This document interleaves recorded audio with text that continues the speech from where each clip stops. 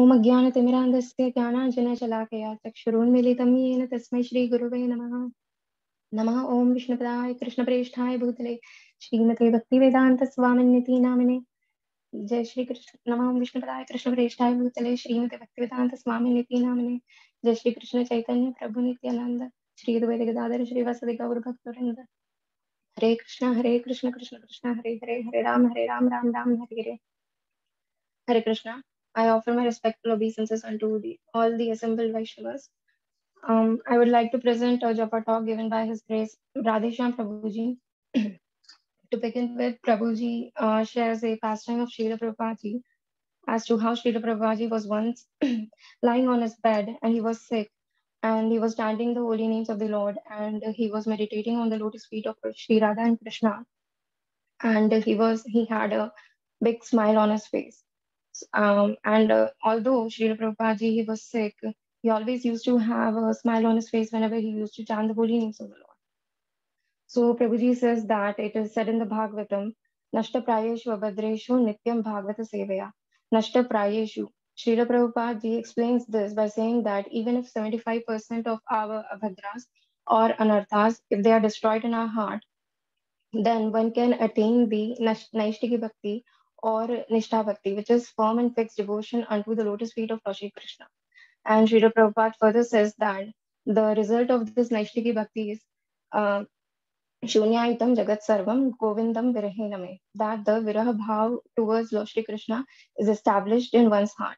Srila Prabhupada, uh, in order to explain this, uh, used to give this example of expectant philosophy as to when we are expecting somebody to arrive at our house at a certain time, we would be having this feeling that somebody is knocking the door.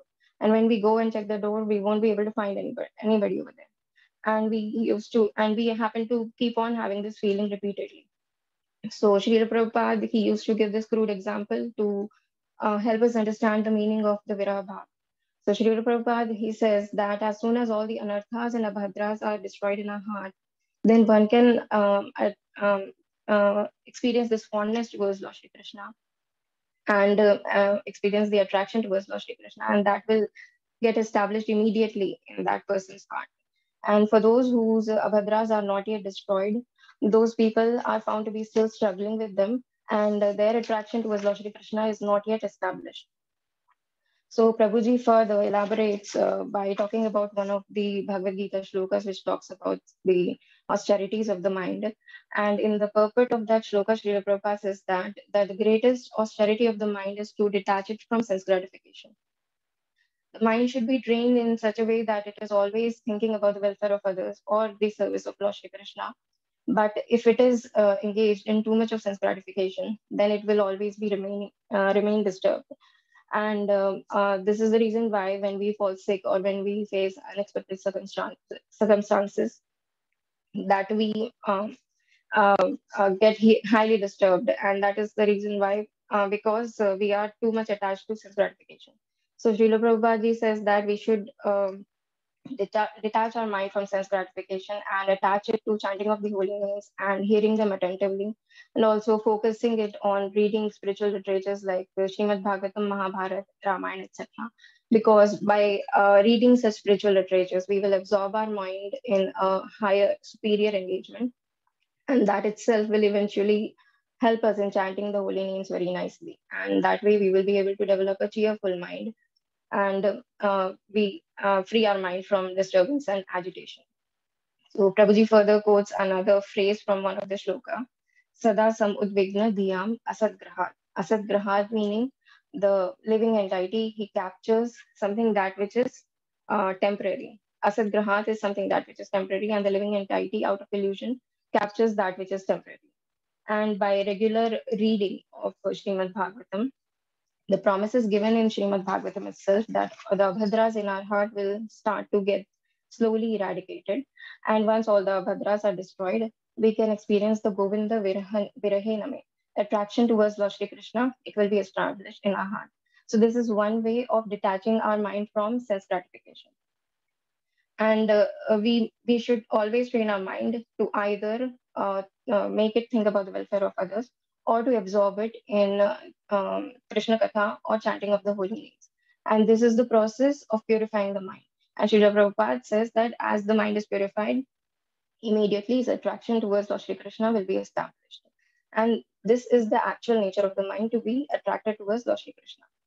So although Lord Shri Chaitanya Mahaprabhu says, Tatrarpita niyamitah smaranena kala, that the chanting of the holy names can be done anywhere at any time and without any restrictions. But still, the, still the Vaishnava Acharyas, they stress upon the fact that the chanting of the holy names should be given the utmost priority because it should be considered to be the greatest gift uh, uh, giving the chanting of the holy names the utmost priority does not mean that we should uh, try to um, finish our fixed number of rounds somehow or other and rush to finish up our other works which we find to be more important than this chanting. Instead, we should think like, let us finish all or finish off all our works so that they don't come and bother us while we are chanting the holy names of the Lord. So that's why chanting should be given uh, the number one priority, and all the other things in this world can wait for us to finish them later. And we should remember this uh, fact that this is the golden chance and not wasted by uh, contemplating on our materialistic plans and goal making. So in this uh, particular Japa talk, uh, Prabhuji gave this one reason as to why uh, our mind remains agitated uh, during chanting, and that is because of sense gratification. And the solution is by detaching it from sense gratification and by attaching it to hearing uh, Harikatha and um, uh, putting and engaging it in the service of the Lord and thus uh, purifying our mind for uh, to be able to chant more uh, clearly and attentive. In this another uh, Japa talk, Prabhuji gives us another reason as to why the uh, mind uh, becomes agitated during chanting, and that is because of engaging it in too much of prajalpa. Prabhuji says that prajalpa basically is nothing but uh, uh, composed of criticism of others. So no, ma- no matter whatever we talk, uh, any topics which are anything other than related to Lord Shri Krishna, they either begin with or end with criticism of others. And we criticize because we think that we are superior to others. And there is definitely no Trinadapi Sunijina practice over there. So when we criticize others, our mind becomes agitated. And when our mind becomes agitated, our senses, senses also lose their control. And with such an agitated mind, the person becomes afflicted with shoka moha bhaya, and he himself becomes disturbed, and he also causes suffering to the persons around uh, surrounding him. So while um, so we should therefore um, be very careful of prajalpa and criticism and consider it to be very dangerous for our uh, sadhana bhakti. And what we talk and how we talk to devotees is very important. Prabhuji gives this example of book distribution marathon as to how the devotees all over the world they develop a sense of competition amongst each other, and they eventually end up finding fault in each other. Uh, the devotees who were um, who performed less, they always uh, are ready with a justification as to how they were able to perform less, and the other devotees were able to perform better. And the devotees who had actually performed better, they end up with a sense of superiority complex. And uh, Prabhuji says that uh, this used to happen even in Srila Prabhupada's time. And Srila Prabhupada, he used to encourage healthy competition and he used to discourage unhealthy competition because he used to say that unhealthy competition, it, you, it uh, leads to prajalpa, fault finding, and many of the devotees, they end up with sense of superiority. And this sense of superiority, it leads to pride. And Lord Shri Krishna hates uh, pride the most and he uh, hated it even in the gopis, and uh, that is the reason why he disappeared from this side. So Prabhuji says that healthy competition is one in which we are encouraging each and every devotee uh, to perform better and better in propagating the mission of Srila Prabhupada.